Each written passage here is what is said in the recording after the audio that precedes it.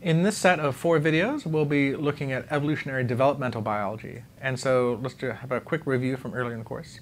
Um, to the extent that we looked at development, um, it was actually seen as a constraint, right? So the number of cervical vertebrae in mammals was constrained because of the Hox genes that were responsible for the development of cervical vertebrae also being associated with cell growth and cancer risk. And when we looked at which digits were lost in lineages that evolved fewer digits, the pattern of development caused them to lose particular ones and not have, for example, total flexibility in which digits they lost. So as a reminder, right, this was the cervical vertebrae example where Hox genes were associated with increased cancer risk as well as the number of vertebrae. And when we looked at organisms, for example, like horses, but also other organisms, when they evolved to a state where they only use one digit, it was always to digit number three, and they always lost digits one and five first, and those are the ones that developed last. So the developmental trajectory acted as a constraint on the type of evolution that we saw in adults. So just as other examples, this same process isn't just in horses, we see this in skinks and chicks, the same thing. The last developed digits are the first ones to be lost, and when you go down to one digit, it's digit three. When you go down to two digits, they end up being two, three, and four. So if we look at a different group that has a different type of development of its digits, we can see how the development influences the possible evolution. So in caudates, they actually develop their digits differently. Instead of starting off with digit 3 and then going out from the middle, they actually start with digit 1 and develop across to make the five digits. So instead of being 3, 4, 2, 1, 5, they actually go 1, 2, 3, 4, 5.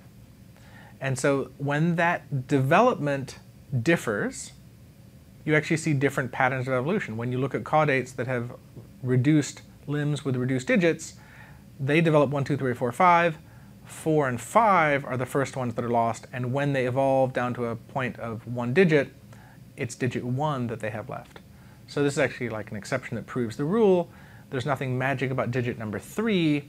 It really is the pattern of development that's guiding the type of evolution that occur.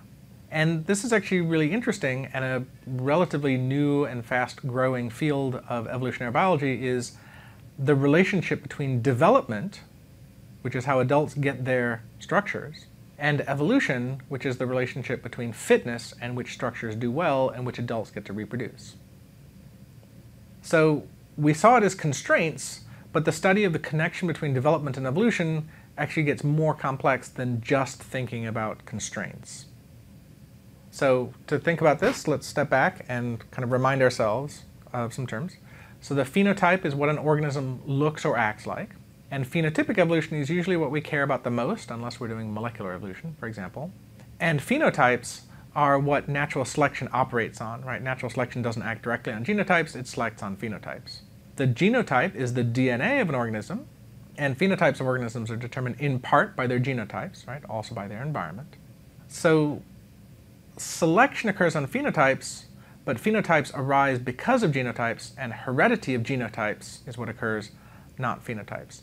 So you have like a kind of a, a mismatch, right? The selection happens on phenotypes, the heredity happens on genotypes, you need selection and heredity and variation to get your evolutionary response. The variation and heredity are genotypic traits. The selection is on the phenotype.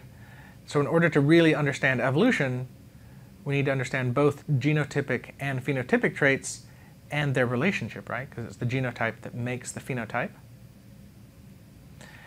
And the genotype making the phenotype, that's the process of development, right? The process of development connects genotypes and phenotypes to one another this process is that connection between the two things that are under selection and responsible for variation and heredity. So this relationship between the genotype and the phenotype is sometimes called the genotype-phenotype map, or mapping. And studying this has been a long-standing part of biology in general. One of the big questions about biology is how do organisms turn into adults?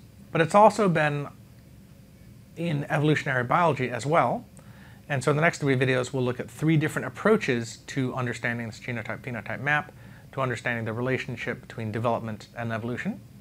We'll look at some comparative embryology from the 1800s. We'll look at the use of some mathematical techniques to do what are called allometric studies. And then we'll look at more recent work looking at molecular genetics and using molecular tools to understand development and evolution.